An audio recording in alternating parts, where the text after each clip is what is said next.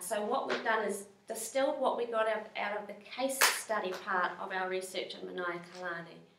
We did case studies of the sort of big splash writing teachers in Manaia Kalani. And we went, rather than just going in on the one day, like we've done sort of more generally, we went deeper with those ones. So we read through, you know, they were all planning online, so we read through their planning, we read through the kids' blogs, we emailed them, we talked to them, we got a sense of what they were trying to achieve. And here is the, the five key things that we think seem to be big splash things that they were doing. Um, forget that.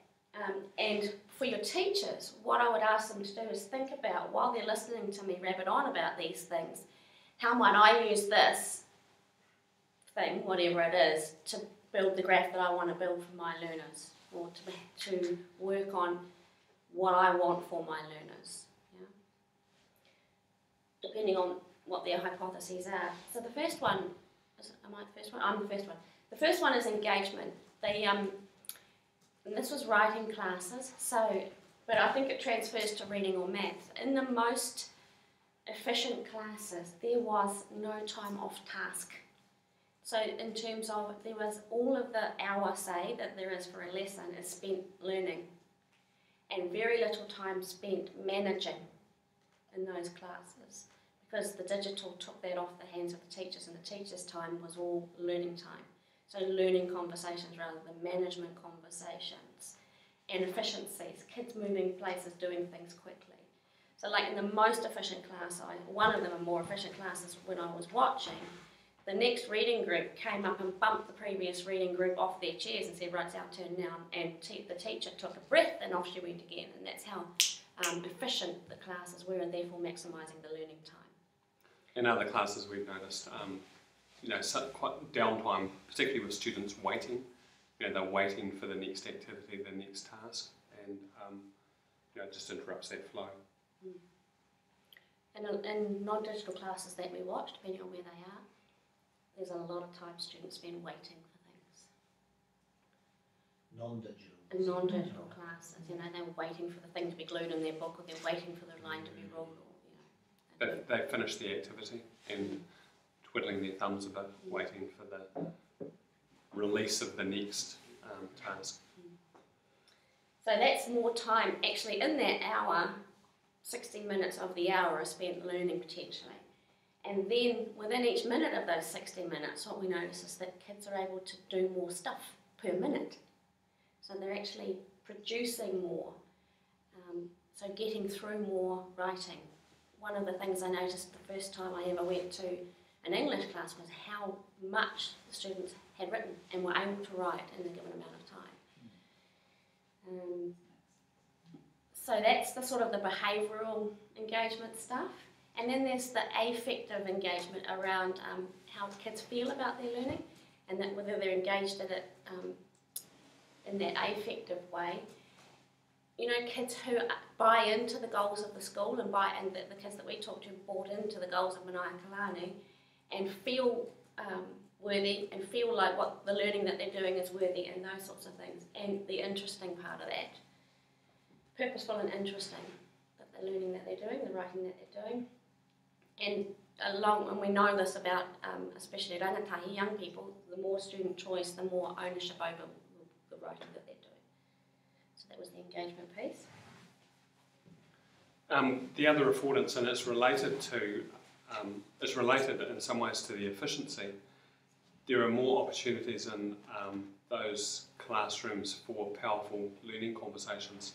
It's related to the efficiency because um, the teacher has got the space to engage in really deep, productive um, conversations with individual students and groups of students. Know, so it's it's like what we know about um, giving quality feedback um, and um, you know working with working with small groups.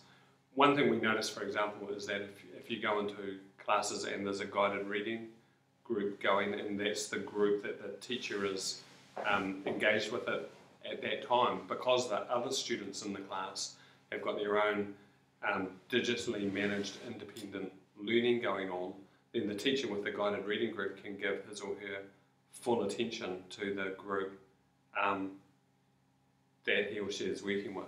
Now, it's not that situation, and as a secondary teacher, you know, I'd be working with a group, and part of my attention is kind of on the other corner of the classroom, wanting to see um, if some mayhem is going to break loose. You know, the teachers that we observed, they don't have that situation. They're just trusting that the kids are getting on with it because the kids are getting on with it, and they, they focus and they're listening. So it's got that um, real formative feedback aspect of it. It means that the teachers know where the where the kids are at and what they've got to do next, and um, all of that sort of thing. The other thing it does is um, because of the collaborative nature of the online environment, there's also a, a lot of opportunities for rich student to student um, conversations in person and online.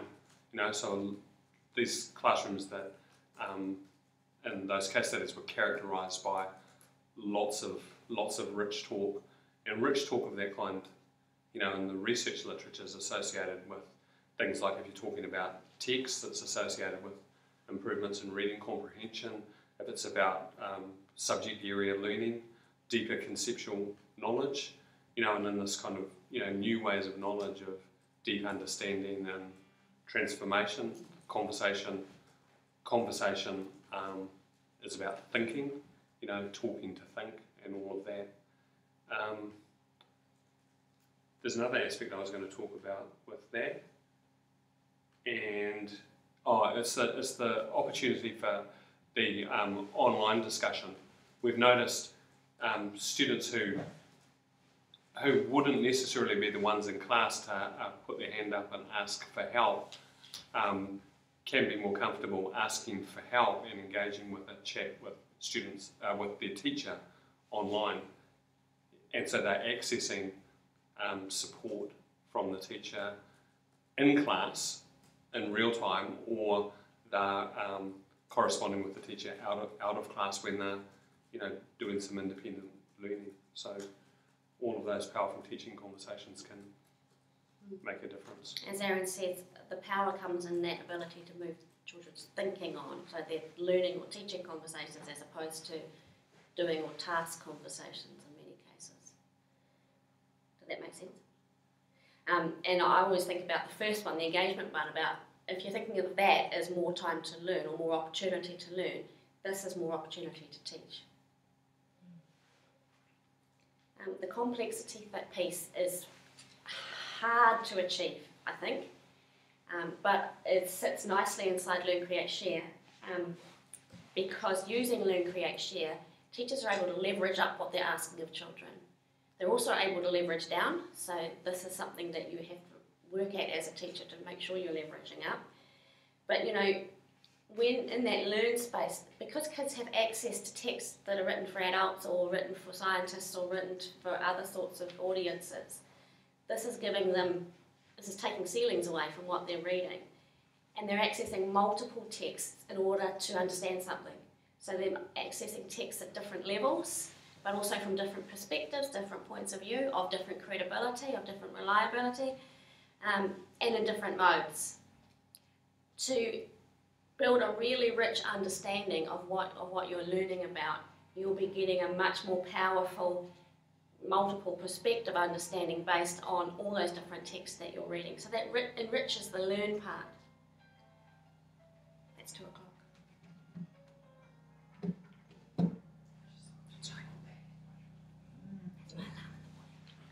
Um, and then kids, because they can access these these really quite challenging texts, we do see students accessing what, what I call bootstrapping.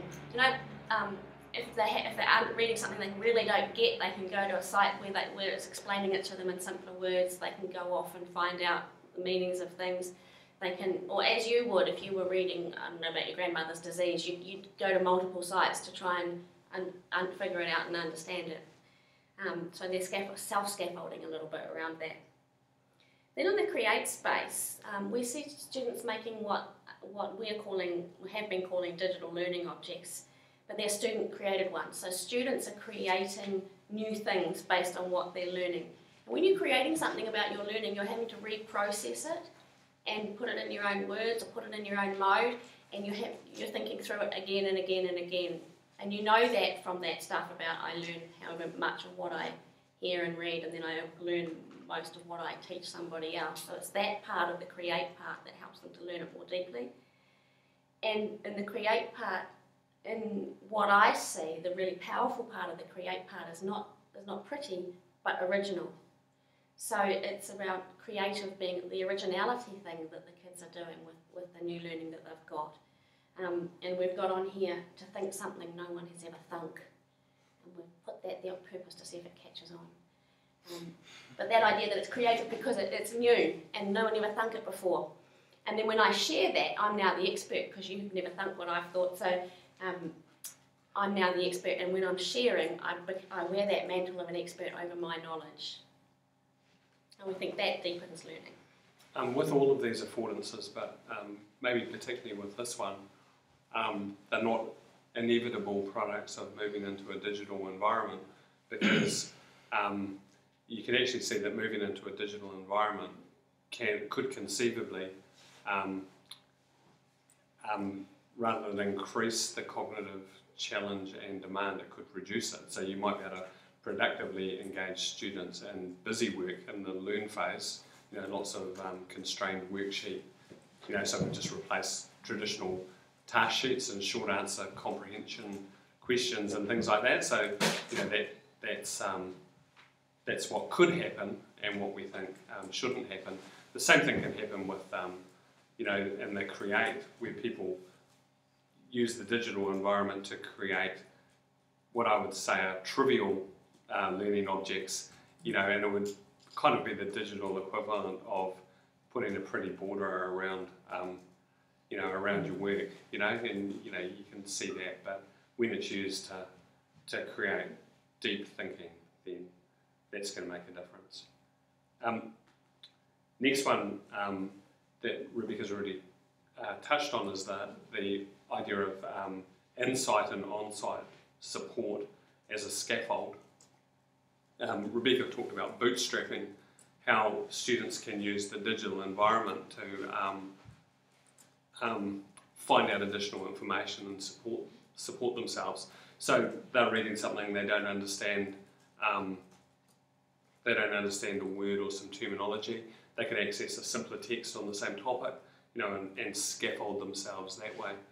Um, we think that's really that affordance is really important because a general observation in our work and internationally is about this issue of scaffolding out as well as scaffolding in.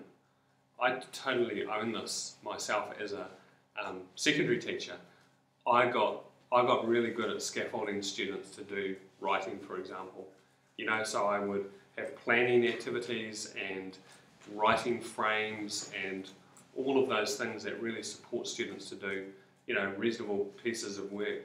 What I wasn't nearly as good at was scaffolding them out so that the students gradually accept more responsibility for their for their own learning and so they become less reliant on teacher scaffolds. So, you know, the digital means that the students hopefully become more responsible for accessing the scaffold themselves. You know, the way that we do. You know, I want to write a I want to write a particular type of letter, I might go and find an example of a letter that someone's written and kind of appropriate the tone uh, a little bit or look at the structure or, or whatever. So that's really important, I think, in terms of the valued learning outcomes that you've identified as a group because you know the independent, lifelong learner, resilience, all of those things are about um, you know scaffolding out and the students you know developing their own their own scaffolds. And this speaks to that independence thing. If you've got if you've on your site as a teacher um, got scaffolds for kids, it it's enabling them to become independent learners, right? They're not just going to be independent because you push them away and tell them to be. You've got to support them to gather those skills. And we see teachers using those site, their teaching sites to do that, you know, with rubrics or frames and whatever that, that can support hmm. support kids. along.